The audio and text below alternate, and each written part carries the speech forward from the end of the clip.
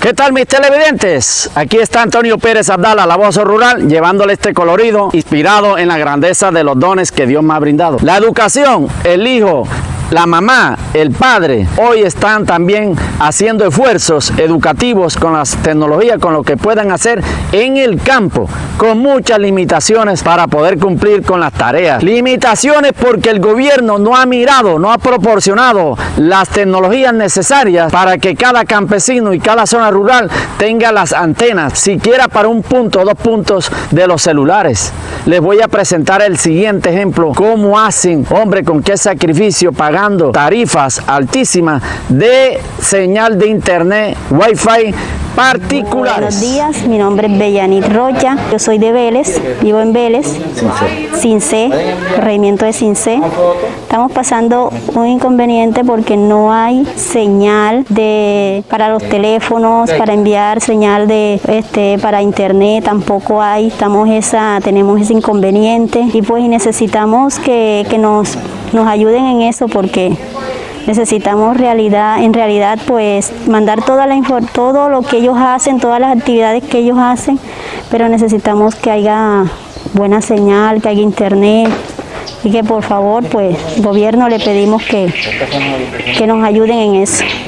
Bien, gracias. Eh, mi nombre es Cristina Estrada, eh, yo soy perteneciente acá al corregimiento de Villavicencio, de, pertenece al municipio del Roble. Pero tenemos un problema que lo, somos personas humildes y tenemos que estar sacando nuestro bolsillo para el internet, porque no tenemos ni la señal de los teléfonos buena, no tenemos una señal de wifi ni de nada de eso, poder enviar esos trabajos.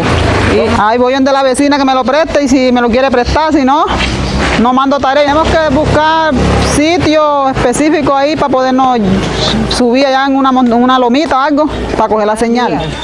Mi nombre es Ana Palencia, madre de familia de la institución educativa técnico agropecuaria Aníbal Gándara Campo, aquí en el corregimiento del sitio, municipio del Roble. Bueno, nuestra situación actualmente, de acuerdo a todo lo que está pasando con esta pandemia que estamos viviendo con nuestros estudiantes aquí en, en nuestro corregimiento, es que no pueden asistir a clases.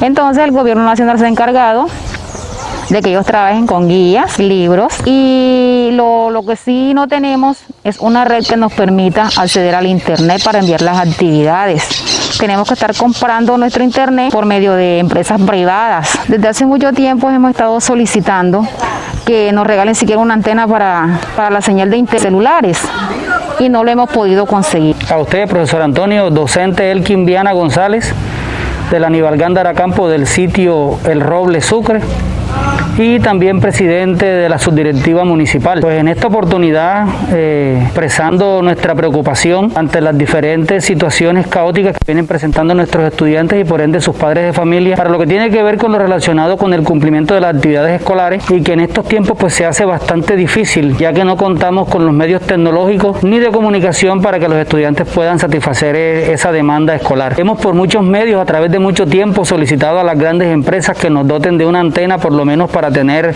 conectividad telefónica. No ha sido posible. Hemos acudido a las instituciones y a las dependencias municipales, departamentales y ojalá y esperamos en el día de hoy se hagan eco en los oídos a nivel nacional para que vuelquen los ojos hacia esta zona rural del municipio del Roble. Nuestros estudiantes tienen que hacer maravillas y malabares para poder enviar sus actividades. Tienen que irse a las periferias del corregimiento para poder conseguir una mínima señal para poder enviar esos trabajos a los docentes tal cual y como el gobierno ha solicitado que se trabaje. ¿Cómo ha llegado la conectividad acá? Pues la conectividad acá en el casco se da gracias a una empresa privada que ha ofrecido el servicio de conectividad vendiendo el servicio de internet. Algunos padres de familia en asocio han eh, aunado esfuerzos para conseguir este medio, pero no es el derecho. Sabemos que son, que es la responsabilidad directa de nuestros gobernantes municipales, departamentales y nacionales quienes deben suplir esta necesidad de nuestros estudiantes y no los padres de familia. Este modo de trabajo es factible para las grandes ciudades y para los pueblos grandes. Para nosotros como nación pequeña es muy difícil. Primero porque no tenemos cobertura telefónica. Segundo porque no tenemos los medios tecnológicos para, para satisfacer la demanda que se está ofreciendo en el servicio educativo en el día de hoy. Muchas gracias, profesor Antonio. No hay escuela para estudio, hospital para los enfermos. Todavía andamos en burro y en